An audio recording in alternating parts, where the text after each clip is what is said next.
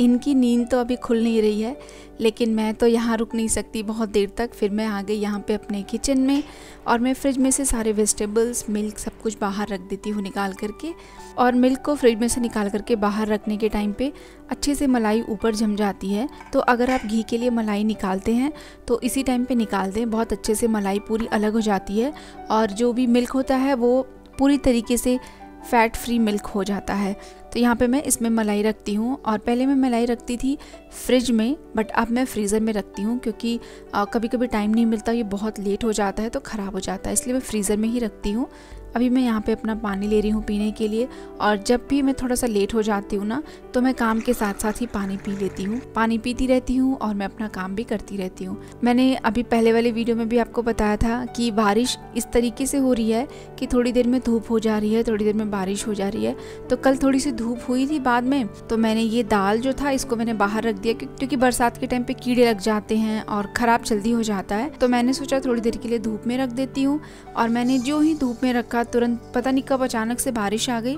जब मुझे साउंड आया और मैं बाहर गई, तब तक दाल में थोड़ा बहुत पानी पड़ चुका था। तो मैं, अगर इसको ऐसे ही रख दूँगी तो ये ख़राब हो जाएगा। तो मैंने क्या किया कि कढ़ाई में इसको डाल करके और हल्का सा ना रोस्ट कर देने से उसका मॉइस्चर ड्राई हो जाएगा तो दाल ख़राब नहीं होगी। और आज मैं ब्रेकफास्ट में बना रही हूँ वेजिटेबल पास्ता बहुत टाइम के बाद मैं पास्ता बना रही हूँ। आहारो बहुत दिनों से मांग रहा था। तो यहाँ पे मैं two and half cup pasta ले रही हूँ और मैं पास्ता को पहले कढ़ाई में डाल के उसके बाद मैंने इसके ऊपर पानी डाला। उसके बाद उसमें ऑयल और नमक डाल करके उसको बॉईल किया। नॉर्मली क्या करते हैं कि पहले पानी डालते हैं, नमक डालते हैं, तेल डालते हैं। जब उसमें बॉयल आने लगता है, उसके बाद फिर बॉइलिंग वाटर में पास्ता ऐड करते हैं। बट मैंने ऐसे ही ऐड किया तो मैंने फिर पास्ता को यहाँ पे बॉईल करने के लिए रख दिया। पानी बहुत ज़्यादा ना डालें, जैसे पास्ता डाल के अगर पानी डाल रहे हैं तो आपको पता चल जाएगा पास्ता से थोड़ा सा ऊपर एक इंच ऊपर तक का पानी हो ताकि जल्दी से बॉईल हो जाएगा। अगर पानी बहुत सारा डाल देंगे तो फिर पानी बॉईल होने में ही बहुत टाइम लग जाता है। तो जब भी पास्ता हो नूडल्स हो, इन चीज़ों को बॉईल करें तो हमेशा उसमें ऑयल और नमक ज़रूर से डालें। नमक थोड़ा सा ज़्यादा ही डाल दें, उसको जितना नमक लेना होता है वो उतना ही एब्जॉर्ब करेगा। नमक आपका ज़्यादा नहीं होगा। और तेल अच्छे से डाल करके उसको बढ़िया से मिक्स करके फिर उसको बॉईल करें। बॉयल करने के टाइम पे उसको बीच बीच में चेक करते रहें। ओवर बॉयल ना हो, क्योंकि ओवर बॉइलिंग की वजह से ये ख़राब हो जाता है। इसका जो टेक्सचर है, वो पूरा बिगड़ जाता है। बाकी का जो पास्ता है, उसको मैं तुरंत यहाँ पे अपने ग्लास जार में फिल करके और मैं रख दूँगी। तो किचन में हाथों हाथ काम भी करते रहना चाहिए। अगर टाइम ना हो तो पैकेट को तुरंत फोल्ड करके उसमें क्लिप लगा करके या रबर बैंड लगा करके तुरंत उसको अंदर रख दें। काउंटर टॉप पे ऐसे छोड़ देंगे तो जब बाद में पूरा खाना बनने के बाद आप देखेंगे तो पूरा आपका किचन फैल जाएगा। उसके बाद यहाँ पे मैं अब वेजिटेबल्स को कट करूँगी। तो वेजिटेबल्स बहुत बेसिक वेजिटेबल्स डाल रही हूँ मैं। ऑनियंस कैप्सिकम कैरेट बस इतना ही रहेगा। तो ऑनियंस को मैंने बीच में से ऐसे कट करके और उसके जो लेयर्स हैं, उन लेयर्स को मैं अलग कर लूँगी। तो यहाँ पे टोटल मैंने दो ऑनियंस लिया था मीडियम साइज़ का। उसके लेयर्स को मैंने यहाँ पे अलग कर दिया है। यहाँ पे पास्ता भी बॉईल हो गया है तो मैंने मैश में तुरंत उसको फ़िल्टर कर दिया। फ़िल्टर करने के बाद जो पास्ता का पानी होता है ना, उसको फेंकने की बजाय उसको थोड़ा सा स्टोर कर लें, क्योंकि जो हम अभी सॉस बनाएँगे, उसी में सॉस बनाने से टेस्ट और अच्छा आएगा। थोड़ा सा क्रीमी और थिक टेस्ट आएगा। तो अगर आप उसी वाटर को यूज़ करेंगे तो आपको मैदा डालने की भी उतनी ज़रूरत नहीं पड़ेगी। बट मैंने स्टोर नहीं किया, मैं भूल गई और मैं जल्दी में ही तुरंत उसको फ़िल्टर कर दी। और ये ऐसा होना चाहिए कि आप थोड़ा सा प्रेशर लगाएँ। तो वो टूट जाए तो वही एकदम परफेक्ट पास्ता होता है। यहाँ पे लहसुन की कलियाँ भी मैं छील ली हूँ और उसको एक बार गीले हाथ से मैं पोछ लेती हूँ क्योंकि बहुत सारे लहसुन गंदे हो जाते हैं। उसके बाद यहाँ पे मैं कैप्सिकम कट कर रही हूँ। ये सारी सब्ज़ियाँ मैं एक ही साइज़ का कट कर रही हूँ। आप इसको थोड़ा थोड़ा और छोटा भी कट कर सकते हैं।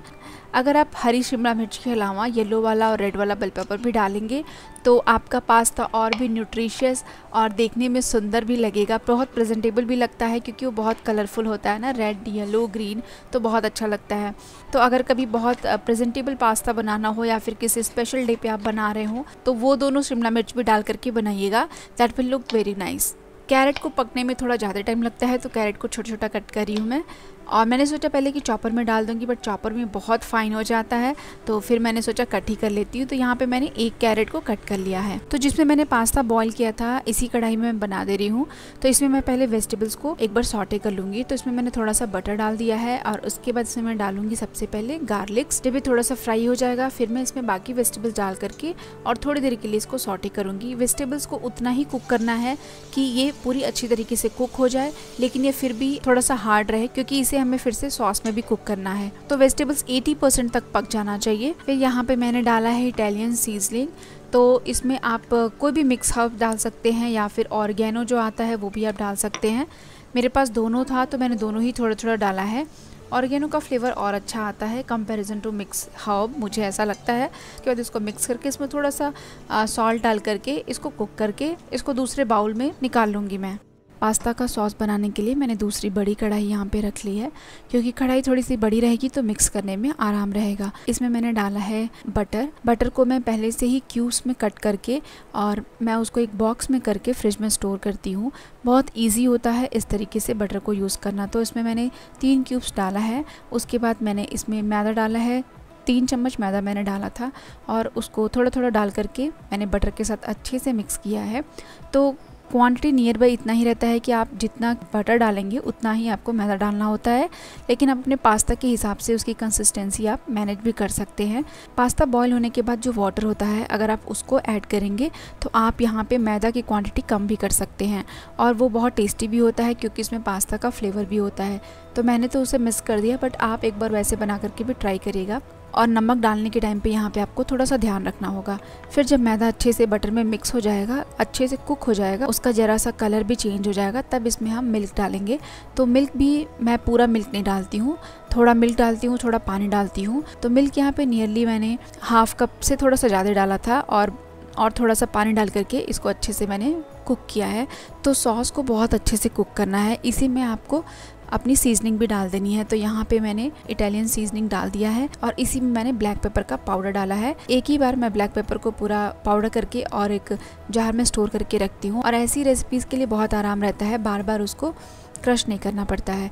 उसके बाद आप यहाँ पे थोड़ा सा सॉल्ट डालें और चेक कर लें सॉल्ट को, कहीं सॉल्ट ज़्यादा ना हो जाए। पास्ता सॉस जो है, इसको बहुत अच्छी तरीके से कुक करना है और पूरी तरीके से कुक हो गया है, आपको तभी पता चलेगा जब आप अपना जो स्पैचुला है, जो स्पून है, उससे एक बार सॉस आप उठाएँगे तो सॉस जैसे स्पून से नीचे गिरेगा तो वो एक फॉर्म में गिरेगा ब्रेक हो होके नहीं गिरेगा। और आप अगर स्पून के पीछे एक बार अपना फिंगर चलाएँगे तो एक क्लियर लाइन उसकी दिखेगी। तो इसका मतलब आपका पास्ता का सॉस जो है, वो अच्छे से प्रिपेयर हो गया है, तब इस पर मैंने डाला है यहाँ पे पास्ता और उसके बाद मैंने वेजिटेबल्स डाल करके इसको अच्छे से मिक्स कर दिया है। तो इसके बाद बहुत देर तक कुक करने की ज़रूरत नहीं है, बस अच्छे से मिक्स करना है कि पूरे पास्ता की कोटिंग अच्छे से सॉस से हो जाए। चाहे तो आप चीज़ इसमें ग्रेट करके डाल सकते हैं। मैंने चीज़ का पूरा क्यूब पड़ा था मेरे पास, मैंने उसको वैसे ही डाल दिया और थोड़ी देर में वो पूरा मेल्ट हो गया, पता भी नहीं चला उतना। हम लोग चीज़ उतना ज़्यादा नहीं खाते हैं तो इसलिए बस ये मैंने छोटा सा ही डाला है। या फिर अगर आपके बच्चे चीज़ बहुत पसंद करते हैं तो आप चीज़ को ग्रेट करके उनके बाउल में भी डायरेक्टली डाल सकते हैं। तो यहाँ पे हो गई है मेरी कुकिंग और इसके बाद में आप फ्लेम को ऑफ़ करके इसको सर्व कर दूँगी। तो ये छोटी छोटी रेसिपीज़ जो हम घर में बनाते हैं ना तो हमारे घर वालों को बहुत अच्छा लगता है खाने में। हमारा भी टेस्ट भी चेंज हो जाता है और हम जब भी नई रेसिपीज़ बनाते हैं नया नया ट्राई करते हैं तो हमें किचन में भी टाइम स्पेंड करना थोड़ा अच्छा लगता है। आप छुट्टियों के दिन बना सकते हैं या फिर बच्चों के लिए स्नैक्स में बना सकते हैं। मतलब उनको आप जैसा ट्रीट देना चाहें, वैसा बना सकते हैं। ऐसी न्यू न्यू रेसिपीज़ ट्राई करते रहें और साथ में बैलेंस भी करते रहें कि जैसे आज आपने पास्ता बनाया तो वेजिटेबल्स वगैरह तो है, बट फिर भी मैं तो इतना नहीं प्रेफर करूँगी हर किसी को कि आप हर वीक ही बनाएँ। लेकिन हाँ सब कुछ बनाते रहें, सब कुछ खाते रहें, अपने बच्चों को भी खिलाते रहें। साथ में उनका न्यूट्रिएंट्स और उनका फ़ूड भी बैलेंस करके रखें। जो भी आपका ओरिजिनल फ़ूड है, आपके रीज़न से फ़ूड आता है उस फ़ूड को भी कहीं से भी पीछे ना छोड़ें। अपने बच्चों को इंट्रोड्यूस कराएँ नई नई रेसिपीज़ उससे भी बनी हुई। इससे बच्चे भी अपने रूट से जुड़े रहते हैं, उनको भी टेस्ट पता होता है कि उनका ओरिजिनल फ़ूड क्या है, उसकी वैल्यू क्या है। तो ऐसे ही आप भी न्यू न्यू रेसिपीज़ ट्राई करते रहें। मैं बहुत डिफरेंट डिफरेंट रेसिपीज़ ट्राई करती हूँ और इसीलिए आप लोग के साथ शेयर करती हूँ कि आप लोग भी नई रेसिपीज़ को ट्राई करिए, बनाइए, खाइए और अपनी फैमिली को खिलाइए। तो मैंने ब्रेकफास्ट दे दिया खाने के लिए और जो पास्ता बचा हुआ था उसको मैंने हॉट पॉट में करके रख दिया है। वो मैं बाद में खाऊँगी जब आरो स्कूल चला जाएगा उसके बाद। तो यहाँ पे मैं आलू पराठे की स्टफ़िंग प्रिपेयर कर रही हूँ। स्टफ़िंग बना करके मैं इसको ठंडा कर लूँगी और यहाँ पर मैं अपना आटा गूद करके भी रख दूँगी। जब तक ये पाँच दस मिनट पे रेडी होगा तब तक मैं बाकी अपना कुछ काम कर लूँगी लाइक उसका बैग रेडी करना वाटर बॉटल फिल करना और भी जो काम होगा वो कर लूँगी। उसके बाद आकर के मैं यहाँ पे पराठा बना रही हूँ। तो पराठा बनाने के लिए अगर आप, आप फ़र्स्ट टाइम पराठा बना रहे हैं ना या फिर नया नया आप स्टार्ट कर रहे हैं आपको स्टफिंग करने में दिक्कत हो रही है तो ये सबसे ईजी तरीका है पराठा बनाने का। एक रोटी को अच्छे से बेल लो उसके ऊपर स्टफिंग रख दो दूसरी रोटी को भी बेल करके दोनों को चिपका करके हल्की सी डस्टिंग करके उसके बाद उसको हल्के हल्के हाथों से बेल के आप पराठा बना सकते हैं। ऐसे पराठा बहुत, पूरी तरीके से फिल भी उस, बहुत अच्छे से होता है स्टफिंग उसमें और वो जल्दी से फटता भी नहीं है। तो इसको बनाने के बाद मैं इसको कट करके और उसके लंच बॉक्स में रख दूँगी। यहाँ पे मैं उसको फटाफट रेडी कर देती हूँ। तो जनरली वो नहा लेता है। अगर मेरे पास टाइम नहीं होता है तो मैं उसको खुद ही बोल देती हूँ नहाने के लिए, वो नहा लेता है। अगर मेरे पास टाइम होता है तो मैं नहला देती हूँ। अदरवाइज़ मैं सैटरडे संडे में से किसी टाइम उसको नहलाती हूँ। क्योंकि सुबह बहुत सारा काम होता है तो मैं कोशिश करती हूँ कि वो खुद से ही नहा ले। बच्चों को जब भी रेडी करें स्कूल भेजें तो उनके लिए कोई भी मॉइस्चराइज़र ज़रूर से यूज़ करें। मॉइस्चराइज़र से वो बहुत सॉफ्ट रहता है स्किन और ड्राइनेस नहीं होती है इचिंग नहीं होती है। अगर आप मॉइस्चराइज़र नहीं लगाना चाहते हैं तो बहुत थोड़ा सा दो तीन ड्रॉप आप कोकोनट ऑयल ले करके अपने पाम में रब करके और उनकी पूरी बॉडी पर फैला करके और फेस पर लगा दें। उससे भी बॉडी पूरा अच्छे से मॉइस्चराइज रहता है। स्कूल भेजने से पहले मैं पाँच मिनट कोशिश करती हूँ कि दो चार मिनट, पाँच मिनट उसके पास रहूँ। तो पूरा दिन ना बहुत सुकून से आराम से जाता है मेरा। तो ये था आज का मेरा व्लॉग आई होप आपको पसंद आया होगा. Thank you so much for watching bye bye take care